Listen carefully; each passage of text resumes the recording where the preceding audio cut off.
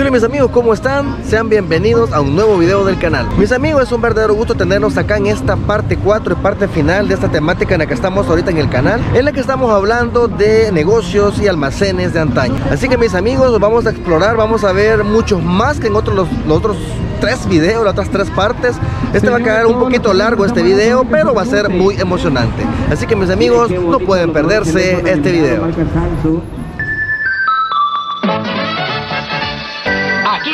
en Rolling y New York, encuentro todo lo que necesito para esta Navidad. Porque Almacenes Rolling y New York están haciendo de este fin de año la Navidad de los buenos precios.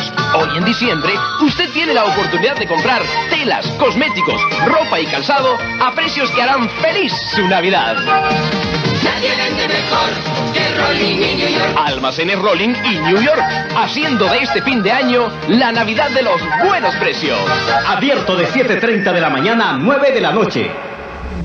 Bueno mis amigos, en esta oportunidad nos hemos desplazado acá a la cuarta avenida sur en el centro de San Salvador para hablar de este almacén que fue muy reconocido en su tiempo. Estamos hablando de la cadena de almacenes Rolling y New York de aquel entonces, de allá los 80s, entre 80 y 90 yo sé que más de algunos de ustedes van a recordar este almacén que fue muy reconocido y hasta donde yo sé acá en el centro de San Salvador creo que llegó a tener hasta tres sucursales. Eh, esta que estamos acá sobre la cuarta avenida sur cerca del parque libertad para que se ubiquen este el pollo campero el que hablábamos que fue el disco rojo el Vigit, ex Vigit y aquí donde estaba exactamente el almacén Rolling. Este almacén Rolling yo estaba investigando, dicen que fue uno de los pioneros acá en, en echar a trabajar, o sea, a poner a trabajar a su gente los, hasta los días domingos. El almacén Rolling en New York, bueno, era un almacén bastante completo que vendía, bueno, lo principal era ropa, pero él vendía muchas cosas más. Un reconocido presentador de televisión como lo era Daniel Rooks, para aquellos que miraban Domingo para Todos desde sus inicios allá en el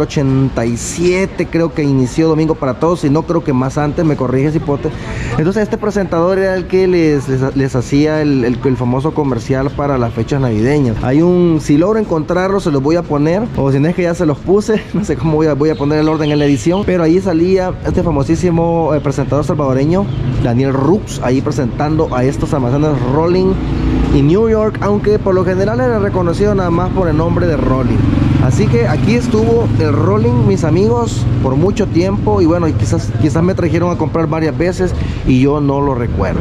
Así que si usted en algún determinado momento lo trajeron por acá sus papás, sus abuelos a comprar, eh, a comprarle el estreno, pues puede comentar ahí en la cajita y decirme qué fue lo que, si usted logra recordar qué fue lo que le compraron, ahí una su camiseta, un su pantalón, zapatos, acá en estos almacenes Rolling y New York.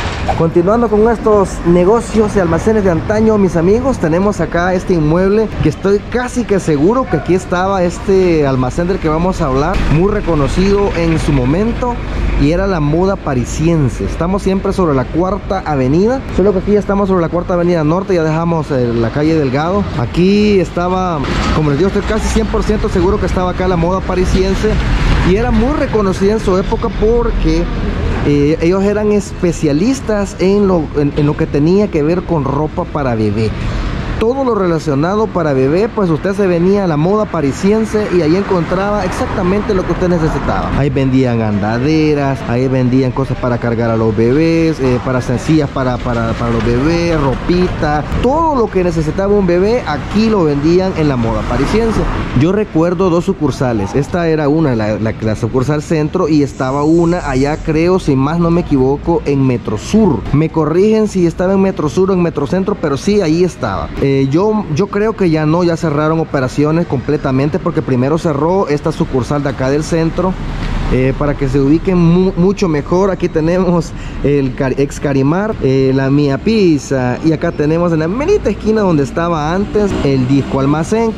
Ah, por acá está la electrónica 2001 para que se ubiquen también. Así que aquí está este edificio donde eh, por mucho tiempo pasó aquí la moda parisiense y era un lugar donde la gente de esa época y bueno que tenía la oportunidad y la dicha de ser papás, pues se venían aquí, bueno tenían ahí sus fichitas ahí y se venían aquí a comprarle algo bonito algo especial para ese nuevo ser que había venido acá a esta tierra, un nuevo integrante de la familia. Así que aquí los dejo con imágenes del inmueble donde antes estuvo la moda parisiense.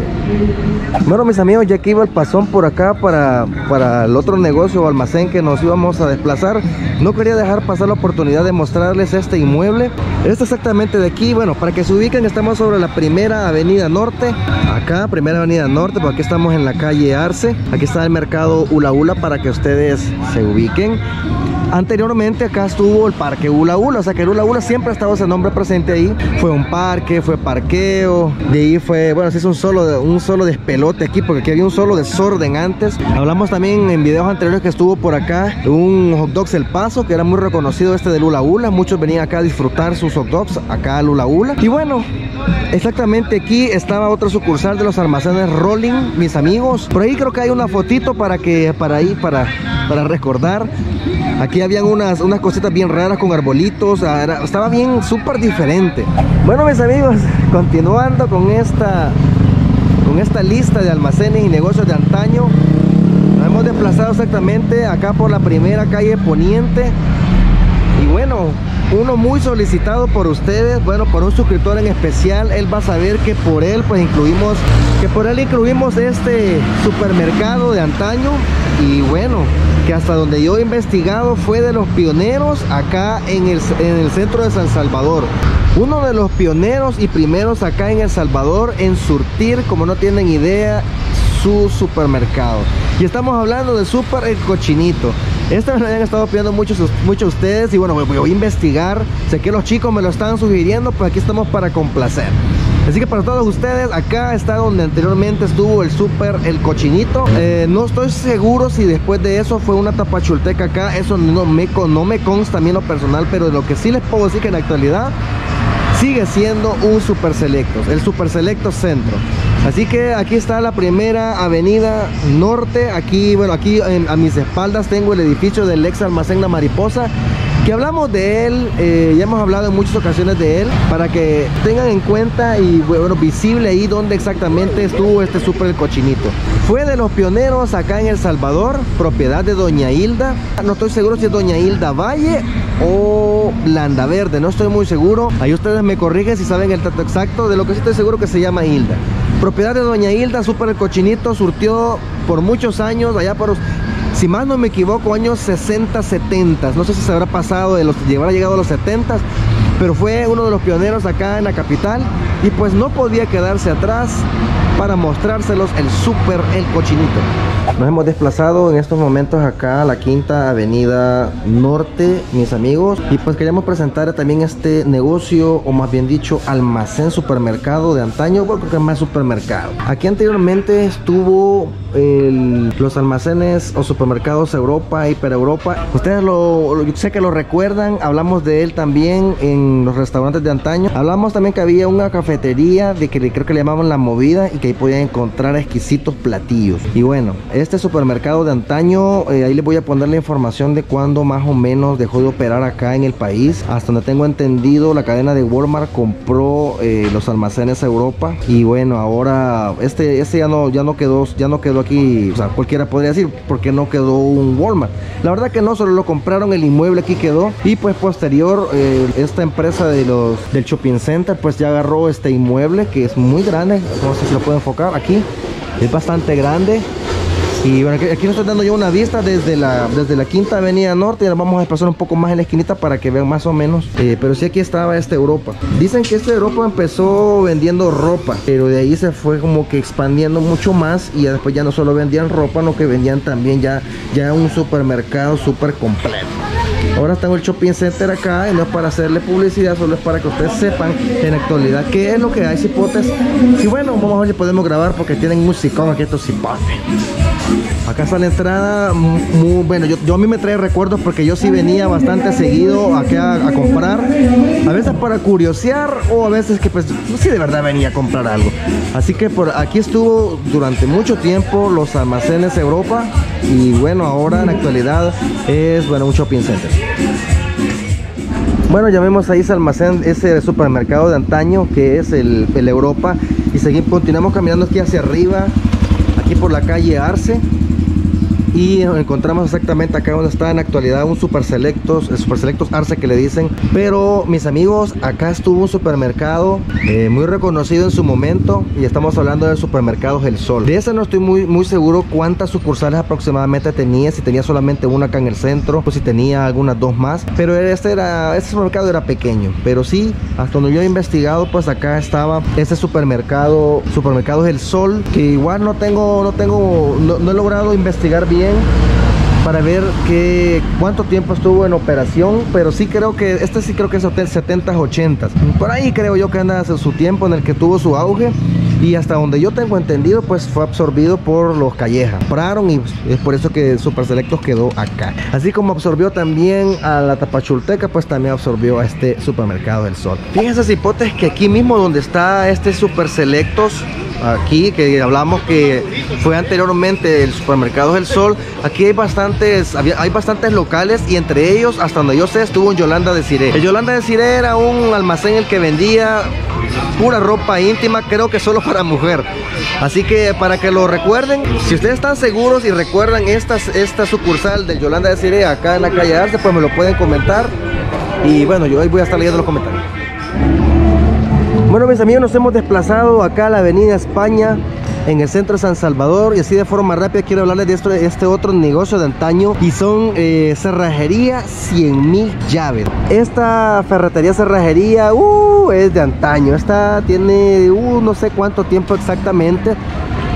Bueno la publicidad de 100 mil llaves se la han quitado. No estoy seguro si ya no es 100 mil llaves ya es de otro dueño pero que siempre sacan copias acá y sacan copias de llaves y venden cosas de ferretería, de eso sí se los puedo asegurar. Bueno, y vamos a continuar caminando por acá porque está bien cerquita para que lo puedan ver. Acá alcanzan a ver el edificio de Almacenes Vidri. Este inmueble casi que siempre ha sido ocupado, por no decir de siempre, para esta ferretería. ¿Cuántos años tiene Almacenes Vidri? Pues déjenme averiguar, se los pongo ahorita ahí en la pantalla para que puedan ver más o menos cuánto tiempo tiene esta ferretería de estar acá. He visto muchas fotografías de antaño y he visto que ya está la publicidad clásica de Vidri esta es una de ellas, creo que tiene años de estar esta publicidad. Y la más reciente que han puesto y más moderna que es la que se ve acá. Así que quería mostrarles este negocio de antaño que igual ha sobrevivido con el paso del tiempo y aún sigue proveyendo estas herramientas, todo lo necesario para, el mantenimiento del hogar, a todos los, los salvadoreños en esta oportunidad los capitalinos acá en el centro de San Salvador mis amigos no yéndonos muy lejos continuando tenemos acá sobre la primera calle aquí tenemos enfrente a lo que anteriormente fue la librería y papelería Hispanoamérica en el centro de San Salvador Aquí tenemos este inmueble que ha tenido múltiples cambios. Bueno, ahora en la actualidad es un banco de vivienda el antiguo Banco Salvadoreño, pues acá está esa sucursal en la actualidad. Eh, un inmueble que cuando cada vez que yo entro a esta agencia bancaria, pues me trae muchos recuerdos, porque mi papá me traía muy seguido acá a comprar los útiles. No sé durante cuánto tiempo lo hizo, pero pero sí lo recuerdo, está en las gradas eléctricas, no me recuerdo que había exactamente en la parte de abajo, algo otros he escuchado que dicen que había una cafetería aquí adentro de la Hispanoamérica. Aquí tenemos el estacionamiento Morazán, que era el estacionamiento del antiguo edificio del Banco Salvadoreño que lo tenemos de este lado de acá, pero de eso vamos a hablar en otro video, no, no, no, no, vamos a profundizar más sobre el tema. Eh, lo que sí nos importa es ver este inmueble de la librería y papelería Hispanoamérica que pues en aquel entonces, no sé si a los 90, eh, no sé si logró pasar de los 2000, pero si logro encontrar ese dato ahí se los pongo en pantalla. Bueno amigos míos, nos hemos desplazado exactamente aquí sobre la segunda avenida norte, segunda avenida norte o avenida Monseñor Ojanulfo Romero y la tercera calle oriente. Acá podemos ver este negocio de antaño, como lo ves, Casa Rivas. Es una venta de repuesto electrónico. Bueno, ahí pueden ver el eslogan El corazón electrónico. Repuesto, accesorios y más. Este, este negocio tiene un montonón de tiempo. Yo de bien pequeño recuerdo que ya estaba Casa Rivas y creo que de mucho más tiempo. Siempre ha sido de esas que se ha encargado de proveer el repuesto electrónico para reparar el televisores. Bueno, repuesto electrónico en general, resistencias, condensadores, capacitores, diodos, dispositivos electrónicos, controles, eh, ahora también este, todo lo que tenga que ver con sonido también. Y para aquellos que les gusta la robótica, también sé que han incluido la parte de Arduino muy completa acá nuestros amigos de Casarribas. Así que este negocio de antaño se ha ido actualizando con respecto al tiempo y es algo que se agradece mucho, no quedarse ahí eh, con, con, lo anterior, sino que ir actualizando los productos para que las nuevas generaciones pues puedan igual consumir esos, esos, esos repuestos y cosas nuevas que van surgiendo en el camino. Bueno, mis amigos, continuando, seguimos con uno de los almacenes que fueron muy reconocidos en el centro de San Salvador. Y digo fue porque ya no existe. Estoy hablando exactamente del disco almacén. Este almacén era reconocido porque aquí podía encontrar de todo tipo de baterías, eh, en aquel entonces cassette de VHS, CDs, memorias USB, muchas cosas de lo electrónico, referente a lo electrónico lo podías encontrar en este lugar, mis amigos. Tenía una amplia variedad de todas estas, de estas cosas electrónicas que a muchos nos gustan, audífonos, entre muchas cosas más. Y lo peculiar de este almacén era de que eh, exactamente en la parte de aquí donde estaba el cajero, tenían un vehículo clásico color rojo. El disco almacén pues no tiene mucho de que cerró, eh, les voy a poner el dato si lo logro encontrar de exactamente el año que cerró operaciones. Y pues bueno, inclusive hasta salió, no sé, en algunos periódicos de mucha, de mucha, ¿qué? De mucha preferencia de los salvadoreños de bueno, el momento en que sacaron el vehículo y toda la cosa. Así que quisimos recordarlo. Aquí en el edificio José Gadala María se encontraba el disco almacén muy reconocido y que ahora está, bueno, si ustedes son seguidores del canal se recordarán que aquí está Tiffany un almacén o tienda muy completa que puede encontrar muchos detalles para esa persona, ser queridos, de lociones, eh, raditos, audífonos, eh, maquillaje, entre muchas cosas más. Así que mis amigos, acá los dejo con imágenes de lo que anteriormente fue el disco almacén. Y no muy lejos, mis amigos, no muy lejos, tenemos acá el inmueble donde anteriormente estuvo el almacén Salandra. El almacén Salandra, pues igual me pueden comentar ustedes qué era lo que el fuerte de este almacén, porque yo no lo recuerdo y no he podido concretizar exactamente cuál era el fuerte de este almacén Salandra, que aún, bueno, en la actualidad algunos le decían la parada del Salandra, porque cuando pasaban los buses aquí, por aquí había una parada y le decían, hay una parada de Salandra, me quedo y bueno, había ganado esa popularidad por el nombre de este almacén. Así que mis amigos, si logro encontrar una imagen de antaño de este almacén, pues se los muestro mis amigos. Estamos sobre la primera calle Poniente y eh, cuarta avenida norte, mis amigos. En este caso sería cuarta avenida, cuarta, sí, cuarta avenida norte. Aquí teníamos ubicado este almacén de antaño, el almacén Salandra. Vuelve a mí, se viene